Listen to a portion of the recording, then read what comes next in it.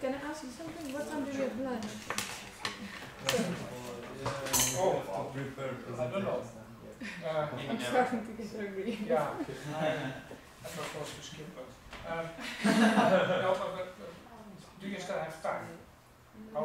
Well, at one we have to present, Yeah. Yeah. and maybe lunch before that, and some people need to make the presentations. So Can we, uh, can we have like 20 minutes? I think this is not very long and I will speak very quickly, yeah? So, would you switch on the... Yeah, switch- it's- it's okay, good. So, um, without further ado, uh, modeling a current task domain. Um, so, it, it's about uh, task analysis, viewpoints, domain representations, Euterpe and the ontology. But it's actually not many sheets. So, um, viewpoints. There are three viewpoints if you look at the task domain. Uh, one viewpoint is to look at it from the point of view of the agents. You could look at what are the agents that are here working together and, and communicating and delegating, mandating tasks to each other. So um, the second one is look at the work. What activities are going on here?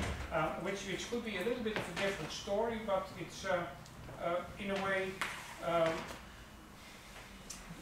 the same domain looked at from a different point of view, right? And, and the third one is the things. Thank you so much. Uh, and you, you, you probably recognize this is what Paul Walsh was looking at, and, and, and this is what, what the Johnsons are looking at, and in a way this is what MAD Suzanne Sebillotte is looking at, the activities and roles of different people. And, and if, I think we need all three of them in a way, but it could depend. In some offices, the, the, the, all the documents are the main problem. In some situations, it's all these different agents that we should find out what they are doing.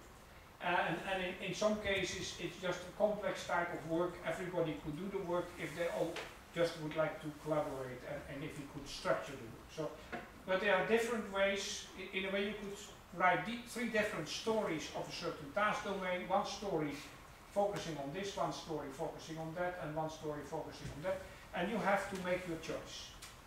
Right? And the techniques you use for them are not too much different, maybe, but, but one focus could be better for your exercise, for your client, for your task domain than another one. Um, and if you look at agents, we could see there are actors, individuals or institutes, and, and these actors have all, have, have all kind of attributes, they have some skills, and they know certain things about.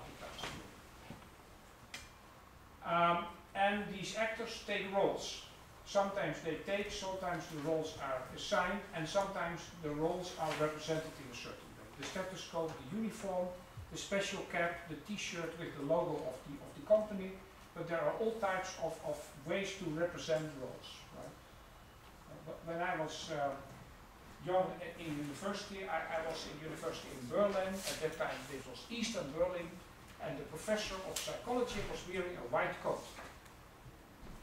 So this, uh, the professors would wear a white coat in, in Berlin, in East Berlin at that time. This was the symbol of their authority.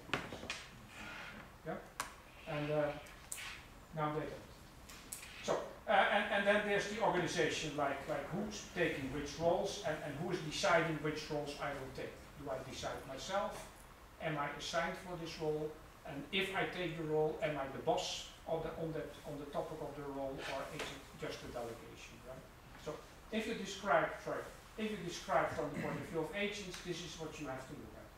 If you describe from the point of view of work, look at the task goal structure, the actions, the communication about it, look at the time structure, are tasks taken in parallel or in sequence, are there several tasks that you can choose between, um, and, and are there some kind of, of protocols, prescribed ways of doing things, or strategies. And by the way, prescribed ways of doing things are not the things people actually do.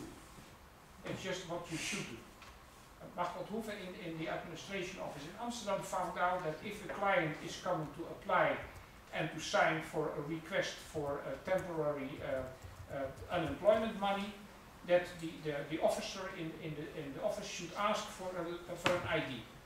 Now some people come there every week and the officer definitely will no longer ask for an ID, although it's the protocol.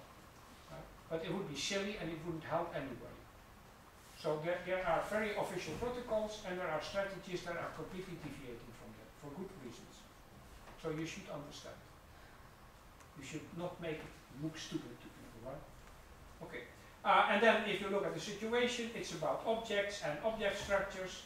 Um, and it's about the environment, the context in, in which these objects make sense and in which these objects move from one location to another or from one agent to another.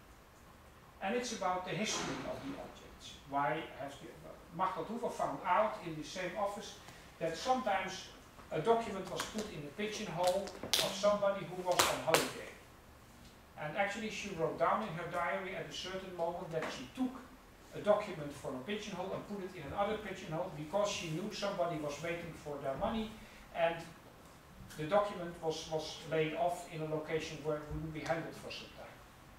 So as an ethnographer she actually changed the situation and she wrote it down but she said, I have a conscience, I couldn't let this go because somebody would be seriously handicapped, right? So she changed, this is what you do as an ethnographer, you are part of the situation, you are not invisible, and, and, and you are, people know you are there, people know you know. So, you have to act, right? And, and uh, she described several, uh, several occasions where she actually changed the process by doing things that, that she was maybe not supposed to do, but she could and she couldn't refrain herself from doing it, right? If there's a fire, fire you might want to extinguish the fire. Okay.